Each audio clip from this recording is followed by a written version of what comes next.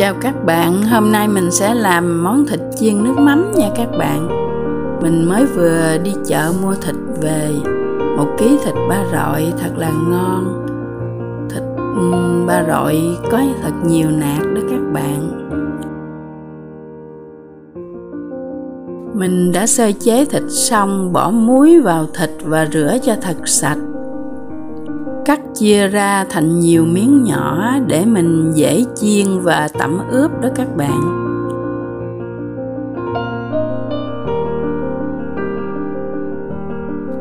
Đây là gừng và củ hành tím mình đã lột sạch và đập hơi dập ra một chút để lát mình sẽ cho vào nước.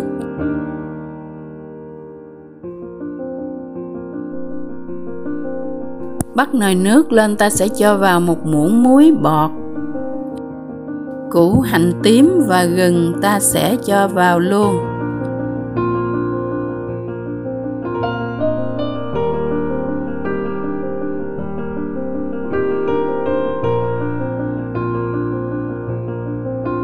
Nấu cho sôi lên ta sẽ cho thịt vào. Luộc sơ.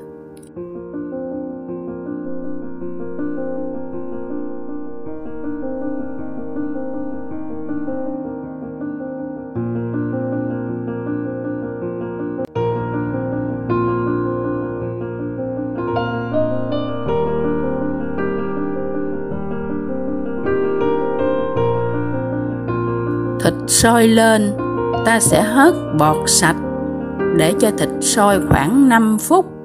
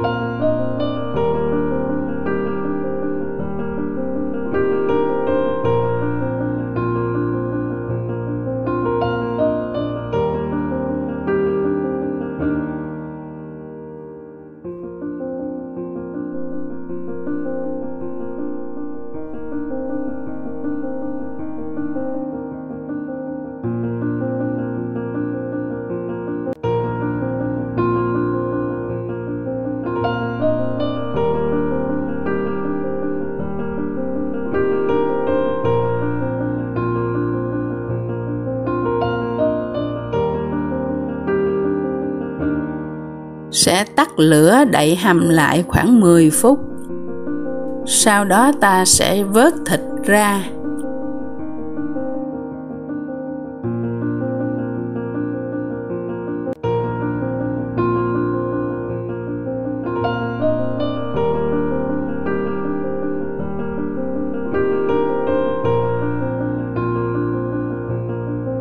Dùng nĩa đâm sơ qua phần da thịt để lát ta chiên cho da được giòn đó các bạn.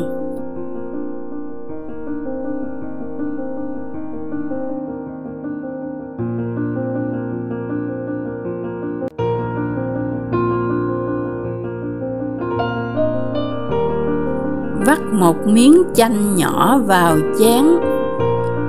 Chuẩn bị thêm một dĩa muối bọt nữa.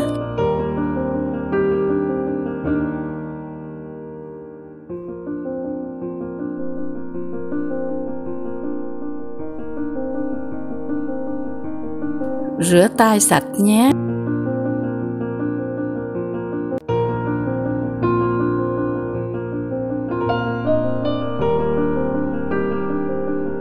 Sẽ phết lên da phần nước chanh.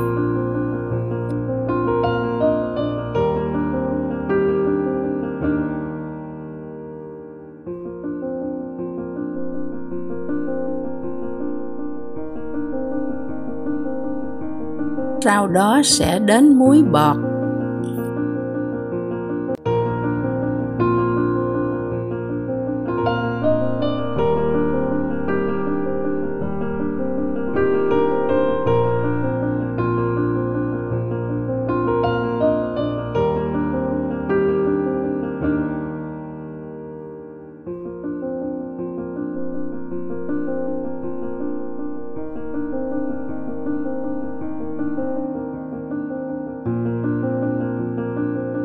Thoa xong chanh và muối vào lớp da rồi còn lại ít muối, ta sẽ thoa đều hai mặt thịt.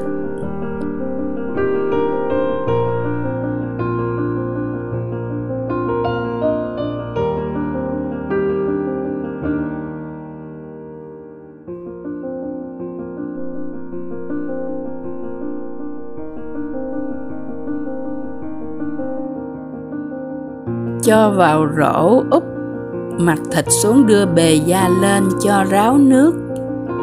Thịt ráo nhanh ta sẽ đưa vào quạt. Mình sẽ đi pha nước sốt, hai muỗng ăn canh, nước mắm.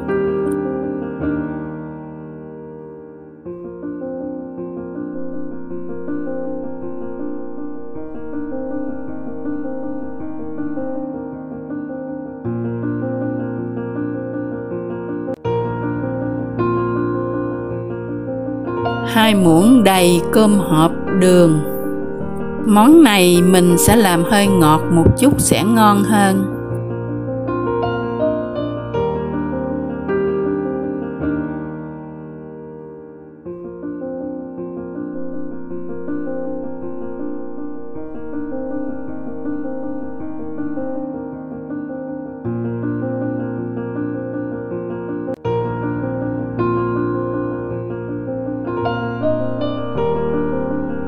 Một muỗng lưng tương ớt. Nếu nhà các bạn không có bé thì các bạn cho ớt nhiều một chút và thêm ớt bột khô hoặc là ớt trái bằm nhuyễn nhé.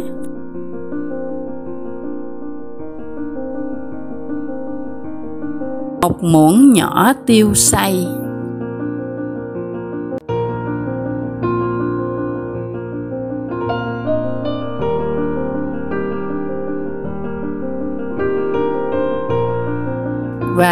Thêm một muỗng nước lọc.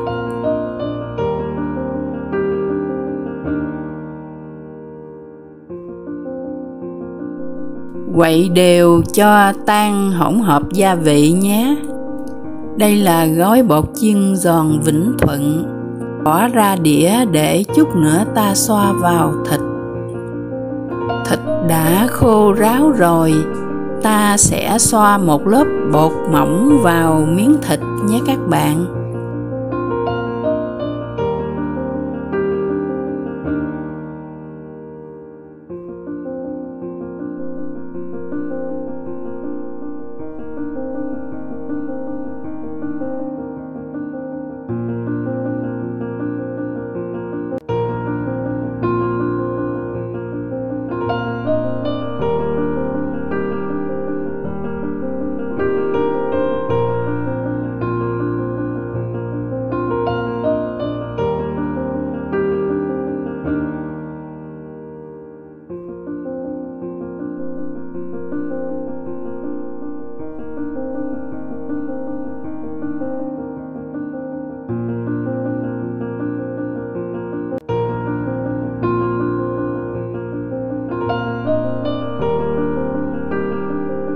Đã xoa xong hết, ta sẽ bắt chảo dầu lên đợi nóng, sẽ cho thịt vào chiên. Cho từng miếng thịt vào.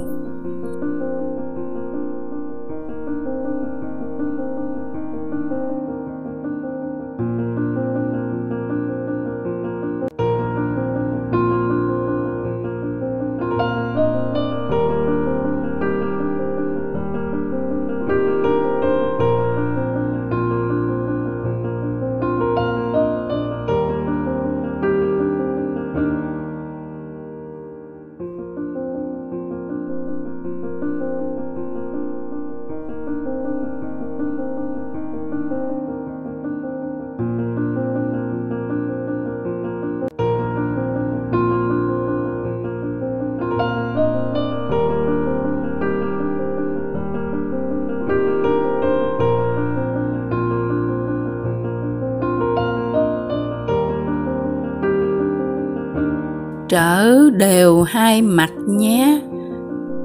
Khi thịt vừa vàng, ta sẽ vớt ra ngoài giấy thấm dầu.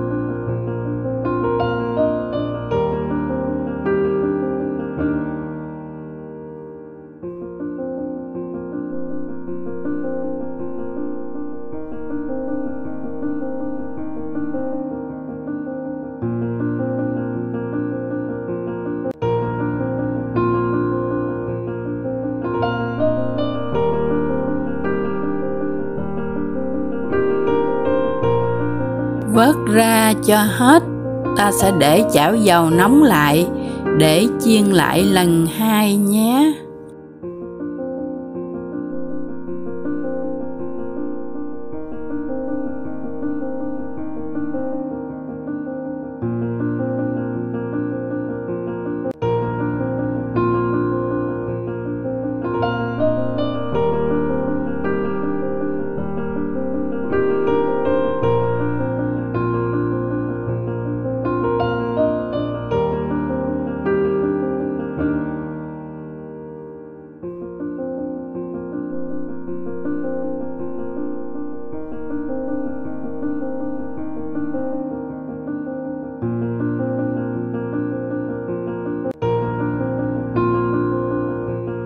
Khi thử đã thấy dầu nóng lại rồi, ta sẽ cho thịt vào hết để chiên lại thêm một lần nữa cho da được giòn nhé các bạn.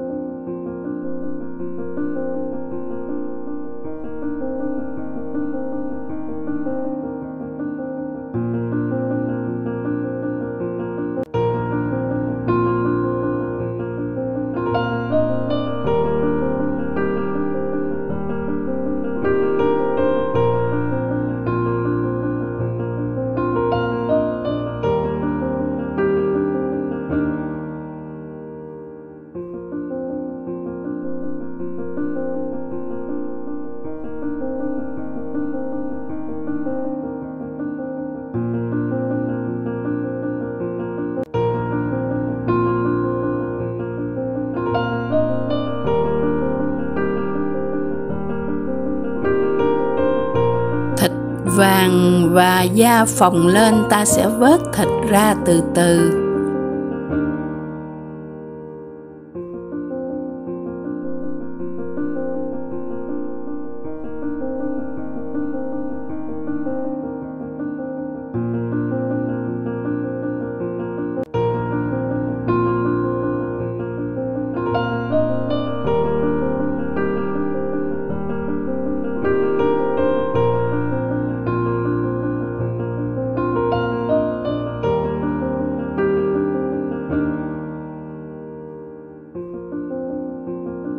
Da phòng lên lắm nè các bạn.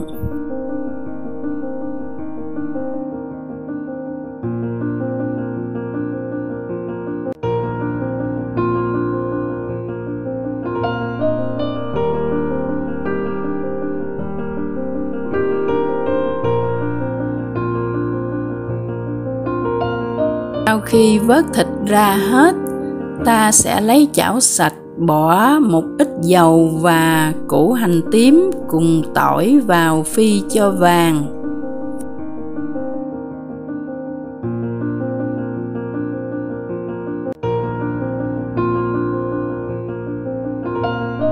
Đổ nước sốt vào chảo để xào lên cho keo lại.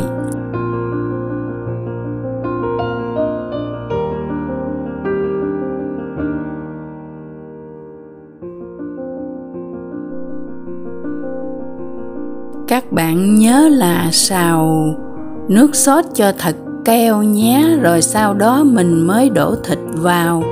Nếu nước sốt không keo lại thì nước sẽ bị rửa và loãng ra, sẽ không bám vào thịt đâu.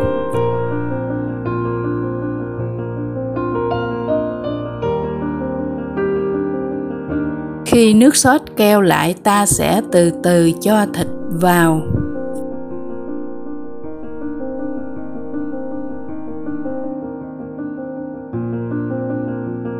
Đảo đều lên, cho nước sốt bám vào thịt.